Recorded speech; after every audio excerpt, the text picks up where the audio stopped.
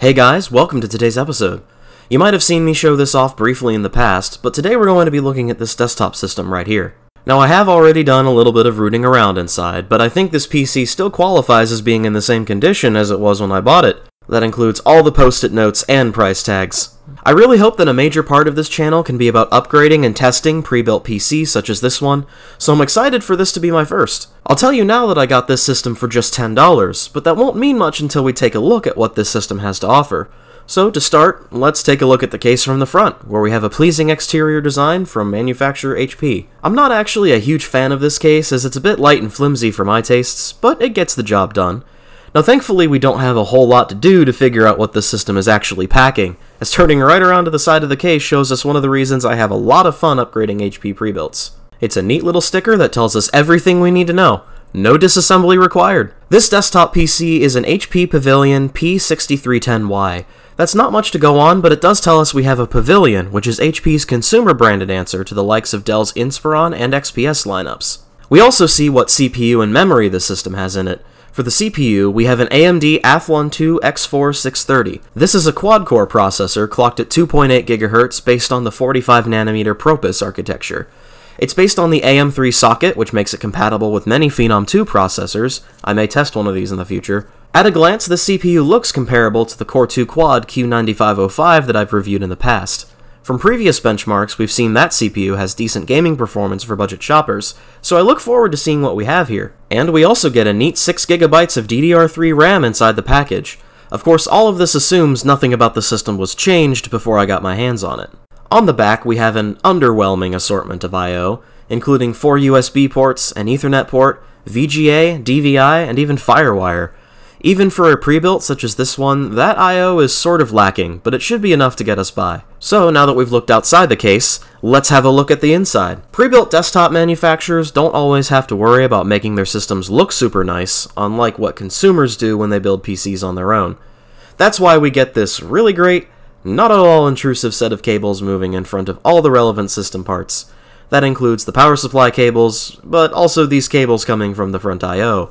There's actually a good reason for why the case looks like this. That motherboard was not specifically designed for this case. In fact, the M2N78LA line of motherboards is a whole host of boards, with each being produced to meet the needs of system integrators. This motherboard is the Violet 6 model, which is notable for having a full 4 DIMM slots and integrated NVIDIA graphics built right into the chipset. And there's our 6GB of RAM hidden behind a bunch of PSU cables. We appear to have one second gen PCI Express 16X slot, which should be perfect for graphics cards upgrades. In addition, there are some PCIe 1X slots, as well as a basic PCI slot for compatibility. Finally, we have a stock AMD heatsink. Nothing crazy fancy here. I actually dislike these heatsinks a lot because they're so dang difficult to remove. So instead, we're going to verify that the CPU inside is the one we expect by instead booting into Ubuntu and checking the system specs. And it looks like we have exactly what we're looking for.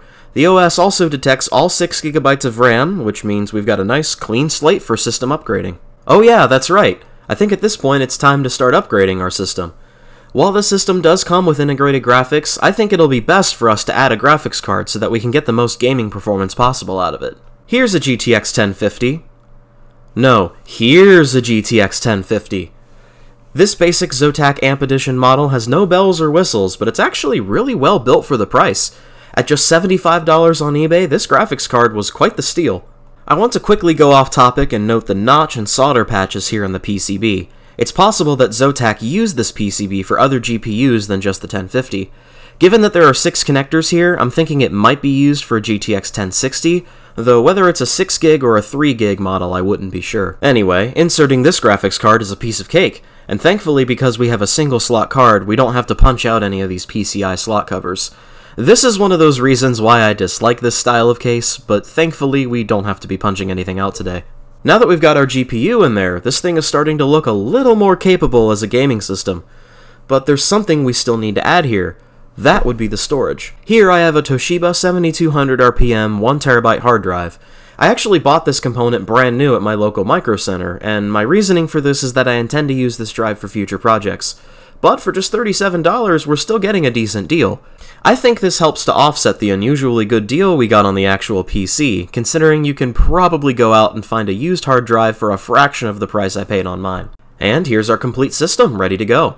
For just $122, we have a quad-core processor and a decent GPU that together should be able to get a lot done. So, how does it game? Before we get into that, I want to discuss these Windows keys you sometimes find on pre-built systems. As long as the motherboard inside the PC is the same one it originally shipped with, then you can use this product key to get an install of Windows on any hard drive you put in it. That means that, if you were to buy these parts as I did and you need an OS, you could install Windows 7 on it, though it's important to keep in mind that Windows 7 support will be ending within a year from now, and Windows 7 does not have support for the DirectX 12 API. That means that some of the very latest games may have trouble running, or will not run entirely on your system if you choose to use it. That said, I don't intend to install Windows 7 myself, as I'll be using my tried and true Windows 8.1 SSD, along with this hard drive for storing my Steam games library. Just keep in mind though that if you're doing this yourself, you have the option of installing Windows 7 if you can get the ISO. No product key required. Now we're ready to do some benchmarks and see how this $120 gaming PC performs.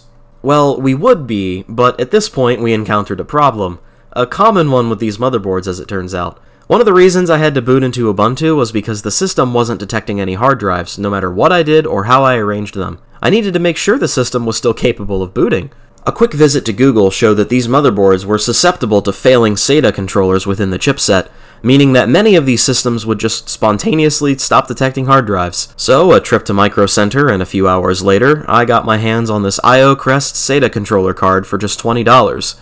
I won't be adding this to the final cost of the system since there was an unexpected troubleshooting issue, but this still leaves our new gaming system with a pretty good value. And somehow the little thing worked. Uh, the guys at Micro Center said this card supporting the native command queue was what allowed this thing to work, but honestly, I'm not sure if what they said was legit or not. But somehow this bit of troubleshooting worked out nicely for me. You could say it was a nice experience. Okay, so we're finally ready to get into the benchmarks.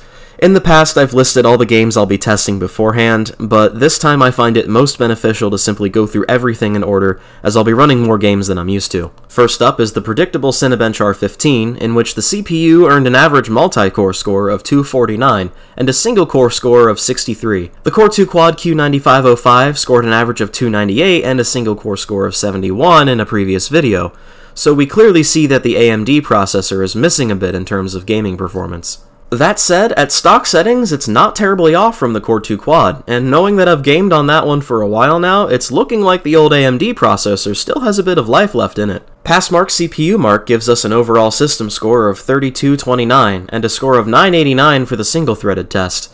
Once again, comparing this to the Q9505, we see that the Intel processor has better single-threaded performance, with an overall score of 3445 and a single-threaded score of 1208. So what we see from synthetic CPU tests is that the Athlon 2 X4 630 has some punch behind it, but it's still not as much as the comparable Intel processors. But the reason we built this thing was to test gaming performance, so how does it handle that? Let's test Rise of the Tomb Raider first to find out.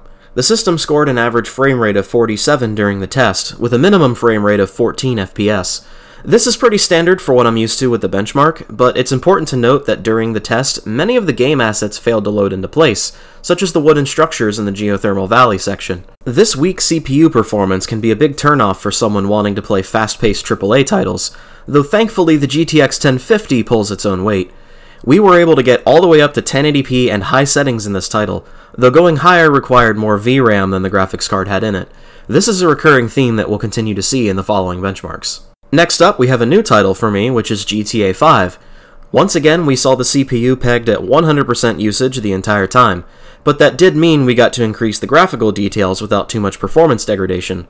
Going all the way to 1080p and high settings netted us an average frame rate of 43 FPS and a low frame rate of 21. The low frame rate occurred only in the busiest areas, however this was in no way limiting to the game performance and everything was completely playable throughout the entire experience. CSGO performed nicely, with the CPU staying pretty high on its usage the entire time. Using 1080p medium settings with 2x MSAA on gave us an average frame rate of 57 and a low frame rate of 31. This was totally playable and was an overall enjoyable experience, though for someone who is looking to get into fast-paced esports titles, it may be better to go for a system with a stronger CPU, as this is the weak link preventing us from achieving a higher FPS. Team Fortress 2 tells a similar story, with an average FPS of 48 and a low FPS of 20 when tested at 1080p and high settings. Much like the previous titles, this gaming experience is certainly playable, but the weak CPU prevents us from achieving higher frame rates and frame times. This means that your reaction abilities may be reduced. So just to see how low we could go with the CPU, I decided to test Minecraft at 1080p and fancy graphics settings. Using 12 chunks for the render distance, we scored an average FPS of 164, which isn't much of a surprise. However, the low frame rate coming in at 21 was a surprise. Evidently, the CPU can get pretty taxed by Minecraft from time to time, as moving quickly generates a lot of new chunks all at once. This did not make the gaming experience unplayable by any means, but it did cause some undesirable stutter when moving in between areas. So the benchmarks we've seen today have shown us that this system is more than capable of playing some decent games for a pretty respectable cost. At just $120 or 140 if you include the SATA card, we were able to achieve about 40 to 50 FPS in the titles we tested. But we also saw that there is a pretty obvious weak link in the system. That would be the CPU. That's not to say that the AMD processor isn't capable, but an upgraded processor could see big performance jumps by allowing the GTX 1050 to flex its muscles a bit more. I had a really great time troubleshooting for once in my life as well. Granted, it took me two weeks to get this project done due to sickness and unexpected motherboard issues, but at the end of the day, I think this was a very illuminating project that helped open up a lot of ideas to me. I think one of the most interesting things to me was what a system at this price point was capable of, and now that I have access to this AMD platform, it's entirely possible I may choose to add a Phenom 2 processor and see if it appreciably increases gaming performance. That's a possible future video topic you may see from me. So, that's going to do it for today, guys. If you liked or disliked this video, you know what to do. If perchance you enjoy this content, or if you're just excited to see what other things I have coming up, please subscribe to my channel. It helps me out in more ways than one, and helps you get a nice dosage of budget computer content. That's a win-win. But for now, I think I'll be going. Until next week, I'll be seeing you guys. Thank you very much for watching.